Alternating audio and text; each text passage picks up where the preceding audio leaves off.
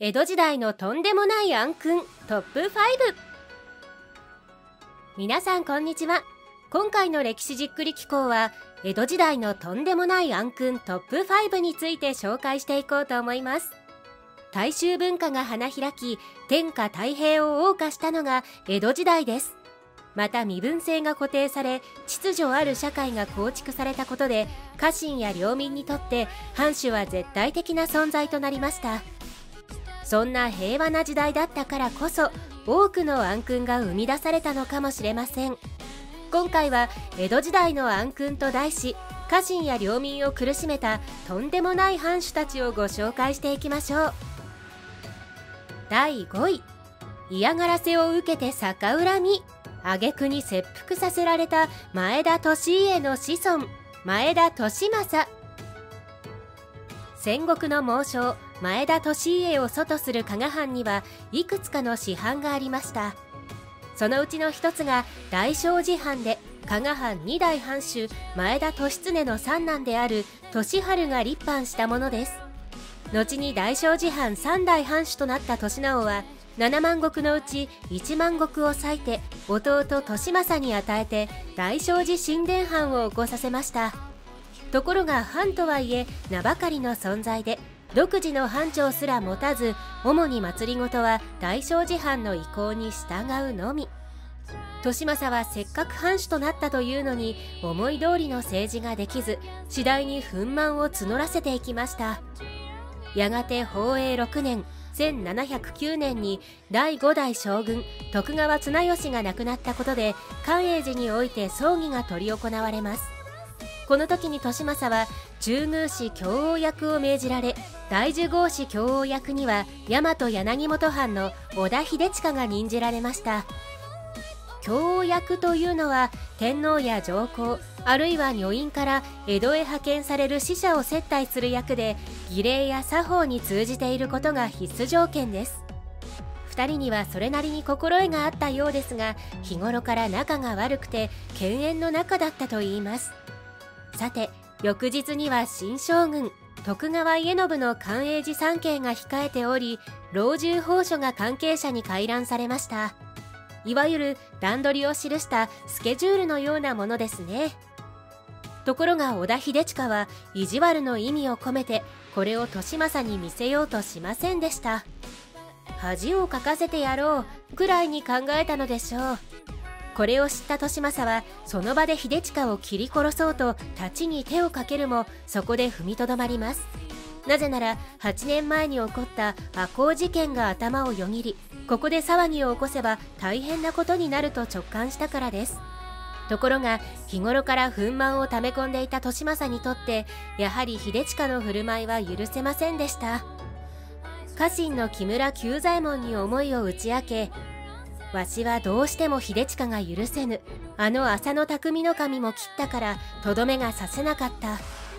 と刺しておけば本会を遂げられたはずだと言い出します。すると久左衛門も殿のお気持ちはよくわかります。それでは宿坊にて本会を遂げられませと同意しました。そして秀親を殺害するべく綿密に打ち合わせるのです。ちょうど寛永寺吉祥寺院に宿を取っていたこともあり夜には宴席が設けられました。体が大きくて武芸も達者な秀親が席を立って川屋へ行こうとすると利政もその後ろからついていきます。そしてかねてからの打ち合わせ通り用を足している秀親の後ろから久左衛門が近づき思い切り羽交い締めにしました。そして利政が正面からぶっすり。秀親はそのまま即死してしまいます。ところが犯行の現場を見ている者がおり利政はたちまち捕らえられました。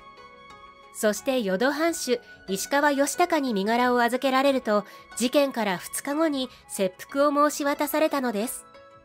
その事実を知った加賀前田家は驚愕しました。まるで幕府をはばかるかのように前田利家の父利政の名を利春に改名したとも。とんでもない人情事件を起こした子孫が利政として名を残す以上同盟の祖先を改名するしかなかったのでしょうそれにしても赤穂事件という前例がありながら悔しいからと逆恨みして人情に及ぶとはとても利家の子孫とは思えない短絡ぶりが際立つ事件でした。第4位ボーイズラブにはまりすぎて家中が内部分裂に。生駒高俊かつて信長や秀吉に仕えた生駒近政が讃岐で立藩したのが高松藩です。関ヶ原の戦いでは嫡男和正が東軍に味方したことで無事に命脈を保っていました。ところが三代藩主正俊が死去したことで高松藩は徐々におかしくなっていくのです。元那7年1621年後を継いだのは幼少の嫡男高俊でしたが外祖父である東堂高虎が後ろ盾となって反省を貢献しました。本来なら幕府から目付が派遣されるところ幕府が信頼する東堂家なら大丈夫だろうということで高虎に一任されたのです。そして高松藩をサポートするべく東堂家の家臣たちが派遣されました。やがて高虎が亡くなると息子の高次が引き続き貢献役を務めますが高俊は大事に育てられすぎたのかそれともあまり世間知らずだったのかおよそ藩主にふさわしくない振る舞いが目立つようになります。とりわけ美少年が好みだったらしく見目麗しい少年たちを集めてはどんちゃん騒ぎを繰り返して遊興に溺れました。また少年たちに美しい衣装をつけさせ参勤交代の行列にまで同行させたといいますからこれを江戸の人々は生駒の若衆行列と呼んで揶揄したそうです。ちなみに高俊は幕府住職土井利勝の娘を正室に迎えていましたが美少年ばかり愛する高俊との間に子供など生まれるはずもありません。利勝は娘の身を案じて訪ねてくるほど心配したといいます。それでも一向に高俊の行情が改まる気配はなく政務を放り出して遊びほうけるばかり。しかし高俊が知らぬ間に家臣同士のいさかいはエスカレートしていたのです。この頃生駒家の家臣たちは2つの勢力に分かれていました。一つは古くから仕えてきた生駒立脇を中心とする不大グループ。そしてもう一つは東道家から派遣されていた前野助左衛門と石崎若狭の一派です。前野らは藩を貢献しているということを鼻にかけますます戦王を極めていきました。寛永12年1635年高松藩は江戸城の不審を命じられるものの高俊が湯水のように金を使ったこともありその費用を工面できませんでした。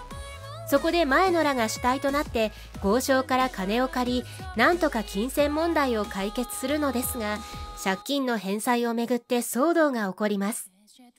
前野は岩瀬尾山の山林を伐採して返済の一部に充てようとしたのですが、ここは伐採どころか立ち入りすら禁じられていた山だったのです。憤慨した立脇はじめ家臣たちは土井利勝や東堂高次に前野らの火を鳴らして訴えました。ところが前野と石崎は尋問を巧みに交わし、とうとう裁定はうやむやで終わってしまいます。こうなると前野らはさらに勢いづき、ますます家中を牛耳るようになりました。しかし、彼らの戦王に業を煮やした立脇は諦めません。再び高次へ訴え出たのです。高次も今度ばかりは見過ごすことはできず、ついに喧嘩両成敗として前野や石崎、そして立脇ら9人の家臣に切腹を命じました。これで万事うまく収まるかと思いきやそうならないところが生駒騒動の難しいところです縦脇を支持する者たちが切腹するべきは戦王を極めた前野や石崎であり中心である縦脇が腹を切るのはおかしいと騒ぎ出し藩主高俊に全てを訴え出ましたこれには高俊も驚きます。これまで政務を放り出していたくせに蚊帳の外に置かれたとして激怒したのです。なぜわしに何も知らせぬおかしいではないかと。早速高俊は東道家へ出向いて抗議します。しかし高次にも言い分はありました。政務を顧みなかったくせに今更何を言うかとうとう言い合いになり高次は好きにしろと言わんばかりに騒動から手を引くことを決心します。戻ってきた高利が立脇の切腹は取りやめじゃ安心いたせと告げると家臣たちは大喜び。ところがすでに切腹の沙汰が下っていた前野と石崎は到底納得できません。それでは喧嘩両成敗にはならぬ。重複いたしかねると主張しとうとう幕府へ訴え出てしまったのです。当時は武断政治の真っ只中家臣同士のいさかいなど幕府が最も嫌う事案でした。大老酒井忠清は関係者を招集して取り調べを行い前野と石崎は切腹立脇は松江藩預かりの裁定が下ります。さらに高松藩は藩主の業績並びに反省よろしからずとして改易となりました。そして高利は出羽へ移されわずか1万石の八島藩として名脈を保つのみとなったのです。第3位出来の悪い藩主と出来の悪い家老たち。諏訪藩の内紛とは諏訪忠厚一時は武田信玄の侵攻によって断絶した諏訪家ですがこれを見事に復活させたのが諏訪頼水という人物です。そして古地である諏訪に信濃諏訪藩を立藩しました。それから160年の時を経て藩主となったのが諏訪忠厚です。ところが忠厚は政治に関心を持つことはなくもっぱら血の定助という家老に任せきり。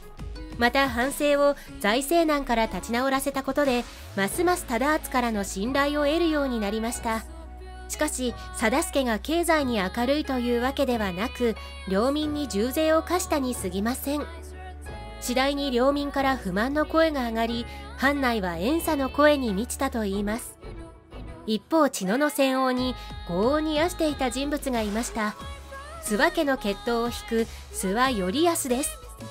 頼康は茅野の追い落としを画策し町や村に高札を立てて今の祭りごとをどう思うかと領民たちの意見を吸い上げました。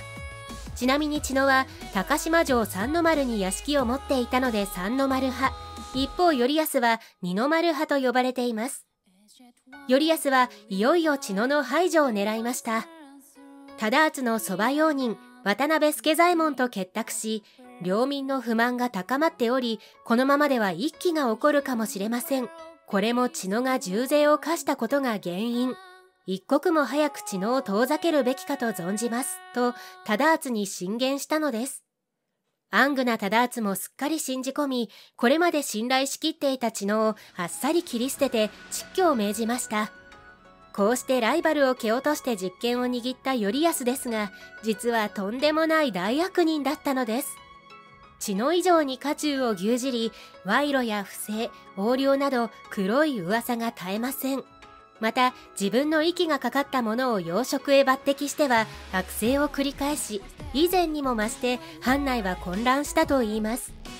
二の丸派が戦王の限りを尽くす一方、失脚したはずの血野が反撃に出ました。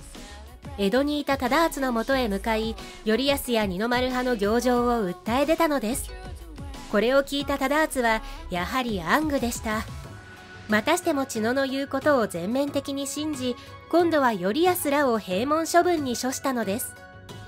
よくよく考えれば忠厚という人物人の言うことを信用しやすいというより単に無関心で面倒くさかっただけのことでしょう。こうして藩内の権力争いは二転三転しますます混乱に拍車をかけるのです。さて忠厚は福山藩主安倍正義の娘を正室に迎えていましたが子はいません。ちなみに側室は2人いて富との間に長男軍次郎がおり木曽との間に次男鶴蔵がいました。いよいよ後継者を決める段となりますが本来なら軍次郎が次の藩主となるべきところ。ところが忠厚は鶴蔵の方を溺愛しておりどちらに家督を継がせるか迷っていたのです。成り行きを心配した千野はやはり長男が後を継ぐべきでしょうと進言しますが忠厚は藩主の家督に口を出すなと激怒。千野は家老職剥奪の上窒居となってしまいます。この裏には失脚したはずの二の丸派の暗躍があり頼康がまたしても渡辺と共謀して次男鶴蔵を押したからでした。二の丸派は再び中枢へ返り咲きあろうことか性質との離縁まで実現させてしまうのです。こうした中やはり茅野は黙っていられませんでした。藩内を脱出して江戸へ向かい忠厚の妹婿である西尾藩主松平則弘に協力を求めたのです。こんな騒動が続けば高島藩は改易になりかねない。そう危惧した則弘は天明元年1781年に忠厚を説得して隠居させ軍次郎に家督を譲らせました。そして知能を家老職に復帰させて騒動の沈静化を図ったのです。一方二の丸派は頼康が切腹となり共謀したとして渡辺ら4人が斬首となっています。もう少し出来のいい藩主であればこんな不毛な騒動は避けられたのかもしれません。第2位。最低最悪の暴君。大名なのに斬首刑となる。松倉勝家。寛永14年1637年に起こった島原の乱は一騎方の敗北で幕を閉じました。そして翌年に責任を問われて斬首刑となったのが島原藩主松倉勝家です。大和二見から島原へ転封となった松倉家ですが勝家の父重政の代から苛烈な政治が敷かれたといいます。領民の苦しみをよそに分不相応な島原城を築城し重税を取り立てさらにはキリシタンを次々に摘発して残酷な処刑や拷問を加えていました。やがて重政が亡くなって勝家が後を継ぐとその可憐中級ぶりはますます強まります。休校一民。つまり農民の収入のうち9割を年貢として徴収しただけでも驚くべきことですがさらに人頭税や小口税いろり税などありとあらゆる手段を用いて課税していきました。飢饉の発生も相まって領民の暮らしは破綻し餓死者もあちこちで発生したといいます。当時の細川家に伝わる資料によると多くの家臣が勝家から離れて島原を抜け出したとも。さて島原で火星が敷かれている中幕府は何もしなかったのでしょうか。確かに島原藩の実情を把握していたかもしれませんがそこには幕藩体制の弊害がありました。基本的に幕府は反政に対して口出ししないというのが基本スタンスです。別に初版から税収を受けているわけではありませんから各藩の政治については介入しません。ただし訴えがあれば話は違います。たとえ領民からの直訴であろうと幕府は受理するしかないのです。実際に群青一揆や大原騒動などは領民から訴えがあったことで幕府が調査に乗り出し結果的に関係者の処罰へつながりました。領民は下々のものだから聞き入れる必要がないというのは暴論です。幕府が公正な行政機関である以上農民や武士を区別することなく裁定することが求められました。もし領民が松倉家の火星を幕府へ訴えていたなら島原の乱のような悲劇は起こらなかったかもしれません。また時の幕閣は春英揃いですし武断政治を進めていたこともあって松倉家にはそれなりの初段が下ったことでしょう。しかし島原の乱の時点で領民が藩主を訴えるという前例などありません。また戦国の殺伐とした気風が残る時代ですからあえて領民側が実力行使に出たと考えられます。さて島原の乱が終わった後松倉勝家には厳しい処分が待っていました。大名では例のない斬首という不名誉な刑罰です。この裏には幕府の思惑もあったことでしょう。松倉家が暴政を敷いたおかげで12万もの大軍の動員を余儀なくされ数千人が戦死しているわけですから勝家をスケープゴートにすることで事態の沈静化を図ったものと思われます。また乱れた政治をすれば大名といえど容赦しない。そんなスタンスを見せつけたかったのでしょう。いずれにしても松倉勝家は最低最悪の暴君であることは疑う余地がありません。第1位。これぞ正真正銘のバカ殿様？松平直和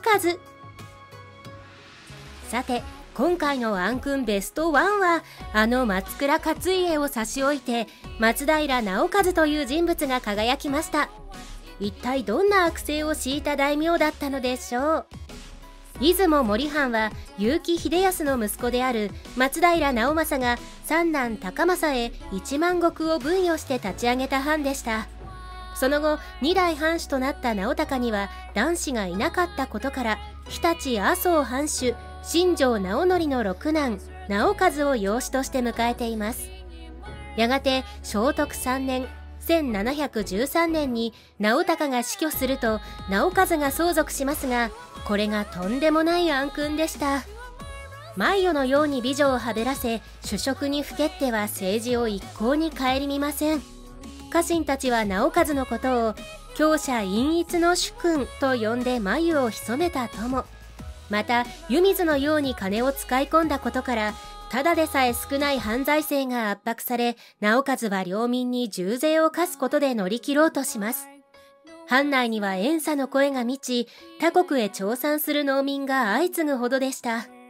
さすがに重臣たちが還元するものの直数が聞き入れることはなくとうとう国家老までが批憤して自害してしまう始末。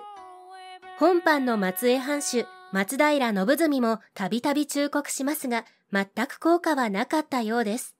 ちなみに、出雲広瀬藩主、松平近友の娘との婚約が進んでいたようですが、こんなバカ殿のもとへ娘をやれるかとばかりに、近友は縁談を破談に持っていったとも。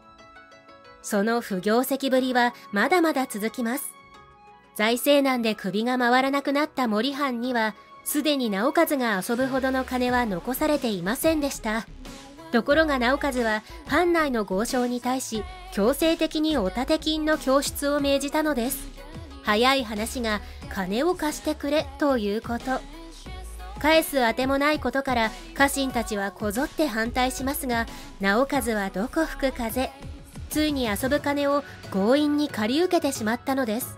そして返済期限が迫った法暦9年。1759年のこと。ついに直和は主君としてやってはならないことをしでかしました。なんと借金を返せないのは重臣のせいだとして2人の家老を切腹に追い込んだのです。金を貸した豪商にすればたまったものではありません。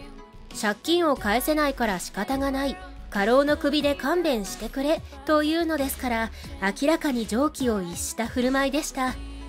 その後も直和はあの手この手で金の工面をつけようとします。大事な藩の施設を売却したりあるいは名字台頭権を金で売ったりおよそ藩主らしからぬ乱脈ぶりだったといいます。政治の混乱が続いた森藩ですが直和も夜年並みには勝てず70歳でようやく隠居。長男の直道に家督を譲りました。しかし直道に男子がいなかったことから弟直行を擁立する動きに出ました。ここで直道と対立しまたしても家中を巻き込む騒動を引き起こしてしまうのです。直和は74歳で亡くなりますがそのバカ殿様ぶりは後世まで語り草になったといいます。最後まで動画をご覧いただきありがとうございます。今回の動画はいかがでしたでしょうか？